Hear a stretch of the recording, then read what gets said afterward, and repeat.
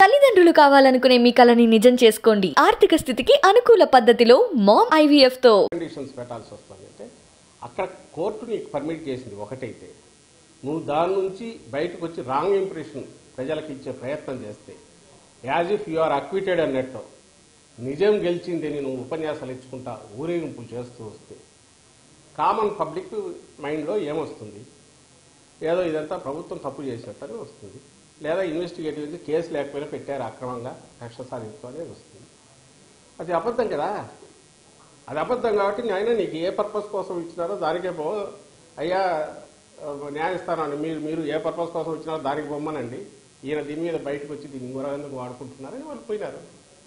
వాళ్ళని ఎట్టి పరిస్థితులను ఆయన మిస్లీడ్ చేయడానికో ఆయన తనకున్న మీడియా పవర్ను యూజ్ చేసి ఇది దీన్ని ఇంకో రకమైన దీని కింద చూపి రాంగ్ ఇంప్రెషన్ ప్రజల మెదడులో ఎక్కించడానికి చేసే ప్రయత్నాలను ఖచ్చితంగా పొలిటికల్గా మేము తిప్పికొడతాం. అండ్ గవర్నమెంట్ వైపు నుంచి కూడా దాన్ని ఆపడానికి ప్రయత్నం చేస్తాం. హయాంలో గత ప్రభుత్వ హయాంలో ఏవైతే మీరు ఆరోపణలు చేస్తా ఉన్నారో మద్యం కంపెనీల సంస్థలకి గత ప్రభుత్వం అనాలోచిత ప్రయోజనం చేసిందని ఆ కంపెనీలు ఇప్పుడు వైసీపీ క్యాప్చర్ చేసిన వైసీపీ నాయకులని పురంధరేశ్వరి ఆరోపణ చేస్తా ఉన్నారు. సిబిఐ ఎంక్వైరీ కూడా అడుగుతా ఉన్నారు. ఆ పరిస్థితి వస్తే మీ ప్రభుత్వం రెడీ అవుతుందా? సిబిఐ ఎంక్వైరీకి మద్యం స్కామ్.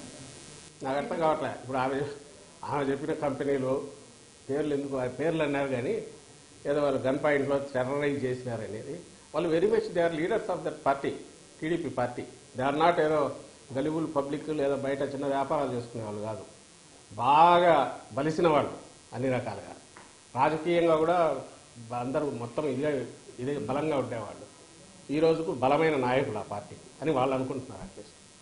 అలాంటి దాన్ని దట్ ఇట్ సెల్ఫ్ ప్రూవ్స్ వాళ్ళు కూడా అదేదో బిజినెస్ ఆపర్చునిటీ కింద వాళ్ళు చేస్తుంటే ఇదే రొటీన్ బిజినెస్ కింద నడుస్తుంది అనేది అక్కడ అర్థమవుతుంది. సెకండ్ ఆస్పెక్ట్ ఇంకొకటి అక్కడ ఏమైనా స్టేక్ హోల్డర్స్ ఏమైనా మారినా షేర్ హోల్డర్స్ మారినారా? వీళ్ళు ఎవరన్నా వేరే వాళ్ళు ఉన్నారా?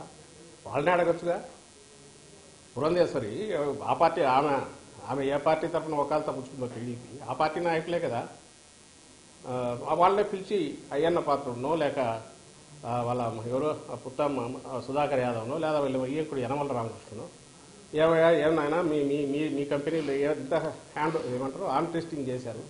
లేకపోతే ఏ రకంగా మేము బెదిరించారు? స్టేట్మెంట్ ఏమైనా తీసుకోవచ్చులే తీసుకొని బయట పెట్టచ్చులే ఇన్స్టెడ్ ఆఫ్ ఇట్లా వైల్డ్ అలిగేషన్ చేసి దీని మీద ఏదో సిబిఐ ఎంక్వైరీ అనే బదులు ఆ పని వాళ్ళ చేతుల్లో ఉండేది వాళ్ళ మనుషులే. వాళ్ళని అడిగి ప్రూఫ్లతో సహా బయటికి రావచ్చు. వాళ్ళే ఒక కంప్లైంట్ పడేయచ్చు. మమ్మల్ని ఇట్లా చేశారని. అక్కడ అక్కడే తెలుస్తుంది. ఆమె చేసే అంత తప్పుడు ఆరోపణలు ఇదేనేది సెకండ్ థింగ్ ఈ రోజు దీనికి సంబంధించినంత వరకు వాట్ ఎవర్ హ్యాపెన్ ఈరోజు కేసు పెట్టింది. ఆ రోజు జరిగిన దాంట్లో ఇంకా గ్లేరింగ్గా కనపడేది ఏంటంటే నేను నిన్న కూడా చెప్పాను. ఈరోజు ఉన్న ట్రాన్స్పరెన్సీ ఆ రోజు లేదు. ఆ రోజు సెలెక్టెడ్ వీటికి ఏ సెలెక్టివ్గా ఏ రకంగా బెనిఫిట్ చేశారు? ప్రూఫ్లు ఉన్నాయి. ఆ రోజు ఆ ప్రివిలేజ్ సత్వం ఏదో ఉన్నదాన్ని దాన్ని ఇచ్చేసేసిన ద్వారా ఏ రకంగా బెనిఫిట్ చేశారని ఇంకా ప్రూఫ్తో సహా ఉంది. నువ్వు చేసావు. ఇక్కడ నీకు ఎవడైతే నీకు లంచం ఇస్తారని నువ్వు అంటున్నావు వాడిని బెనిఫిట్ చేశారనడానికి ఒక ప్రూఫ్ చూపించు. ఆ రోజు దాంట్లో ఉన్నాయి. మీకు పది రూపాయలు లాభం చేస్తే నువ్వు దాంట్లో నుంచి ఒక ఐదు రూపాయలు ఇచ్చినావని అనడానికి ఉంటుంది లేకుంటే మీరు దాని పది రూపాయలు దోచుకోవడానికి అవకాశం ఇస్తే దాంట్లో ఇచ్చినారని అంటుంది ఎక్కడ ఇచ్చారు? ఏమైనా డిస్క్రిప్షన్ రిలీజ్ చేసి కొంతమందికి బెనిఫిట్ చేసి కొంతమంది తగ్గించారా? లేదా సిండికేట్లు ఫామ్ చేసి ఎక్కడైనా ప్రైవేట్ బిజినెస్ చేసి జరిగిందా? ఎక్కడ ఓపెన్ కాకుండా రహస్యంగానో లేకపోతే డిస్క్రిప్షన్ విచక్షణాధికారాన్ని ఉపయోగించి చేసి ఉంటే ఇదిగో ఇందులో మీరు చేశారనడానికి ఒక్కట్లేదు నీ దగ్గర ఉంది. నువ్వు వచ్చి ఈరోజు మా మీద అలిగేషన్స్ చేసి అందులోనూ నీ వాళ్ళకు సంబంధించిన పేర్లు చెప్పి వీళ్ళని బెదరగొట్టి బెదిరించి వీళ్ళతో చేయిస్తున్నారని అంతకంటే అసంబద్ధత అన్యాయమైన ఇదేమన్నా ఉంటుందా? వాళ్ళు నీ మనుషులు. నువ్వు వాళ్ళతోనే ఒకటి కంప్లైంట్ పడించడానికి నీకు అధిక అవకాశం ఉన్నప్పుడు అది వదిలేసి ఇటువైపు ఆరోపణలు చేస్తూ అందుకు వాళ్ళనే దీని కింద చూపడం అనేది మరి ఆశ్చర్యంగా ఉంది. దాంట్లో వాళ్ళ నైజం కూడా బయటపడుతుంది. చంద్రబాబు మధ్యంతర బీజేపీ కానీ జనసేన కానీ స్వాగతిస్తా ఉంది. కోట్లాది మంది ప్రజలు చంద్రబాబు కోసం ఎదురు చూస్తున్నారని పవన్ కళ్యాణ్ ఎక్కడ ఆయన హాస్పిటల్ పోయి కంటి కళ్ళు కనపడక వచ్చినాడు బయటికి. పోయి ఆ కళ్ళు కనిపించేటట్టు ఆ సర్జరీ చేయించుకోవడం అనేది అది చేయాల్సిన పని. ఇప్పుడు ఆయన బయటకు వచ్చి నిజంగా వాళ్ళు చెప్పిన దాని ప్రకారం అయితే ఆయన స్ట్రెచర్ మీద రావాలి బయటికి. ఆయనకున్న ప్రాణాంతక దీనిలతో అసలు రెండు వేళ్ళు పైకి చూపించి అనడానికి కూడా శక్తి ఉంటుందో లేదో వాళ్ళు ఇచ్చిన ఇంప్రెషన్ పిక్చర్ మరి ఈరోజు బయటకు వచ్చి అందరూ ఎదురు చూస్తున్నారు ఓహో ఆహా ఆయన తీసుకుంటారంటే అంతకంటే ఘోరం ఏమైనా ఉంటుందా? అలాంటప్పుడు రెగ్యులర్ బెయిల్ రెగ్యులర్ బెయిల్ కూడా అనడానికి లేదు. రెగ్యులర్ బెయిల్ వచ్చినా కూడా still the case is there you have to fight it out కనీసం అది కూడా కాదే. నేను రోగాల బారిన పడినాను నా కళ్ళు కనపడట్లా ఈ కంటి ఆపరేషన్ చేస్తే కంటి చూపు పోతుందని చెప్పి కోర్టును నమ్మబలికి దాన్ని ఒప్పించుకొని బయటకు వస్తూ అది కూడా మేము అబ్జెక్ట్ చేయలే. గవర్నమెంట్ వైపు నుంచి అది లేదు అవసరం లేదని చెప్పలే.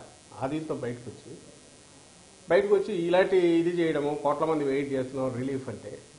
తప్పుడు పని కూడా లేదా తప్పుడు పని చేసిన దాంట్లో చిన్నపాటి దీంట్లో రిలీఫ్ వస్తే దాన్ని చూసి జనం సంతోషిస్తారో లేక ఆహ్వానిస్తారో లేక ఎదురు చూస్తున్నారంటే ఏమైనా ఆయన విప్లవకారుడా? విప్లవకారుడుగా పో- స్వాతంత్రోద్యమంలో పార్టిసిపేట్ చేసి జైల్లో పడి దాంట్లోంచి బయటకు వస్తున్నాడా? ఏదో విప్లవ కార్యక్రమం చేశాడా? దోపిడీ కార్యక్రమం చేశాడు అడ్డంగా బుక్ అయ్యాడు దాంట్లో పోయి రోగం ఉందని చెప్పి ఆ కారణం మీద నాలుగు వారాల పాటు రిలీఫ్ పొందితే దాన్ని చూసి ప్రజలు ఎందుకు సంతోషిస్తారు? లేకపోతే ప్రజలు ఎందుకు జేజేలు పలుకుతారు? అసలు ఆయన బాగుంటేనే ఎవరు పట్టించుకోరు. ఒకటే సింపుల్ క్వశ్చన్. బాగా గుర్తు అందరికీ అలిపిరి సంఘటన జరిగింది. అప్పుడు ఇంకా ఆయన ప్రైమ్ దీంట్లో ఉన్నాడు. ఆయన పూర్తి స్వరూపం కూడా ప్రజలకు తెలియదు. ఎక్సెప్ట్ చంద్రబాబు మన ఎన్టీఆర్ గారిని వెన్నుపోటు పొడిచాడ వచ్చాడనే తప్ప ఆయన పూర్తి అసలు నిజ స్వరూపం అప్పటికంగా ఇంకా తెలియదు. ఏం జరిగింది? అలిపిరిది జరిగితే అలిపిరిది నిజంగా అది జరిగిన ఇన్సిడెంట్. అప్పుడే ఎవరు పట్టించుకోలే.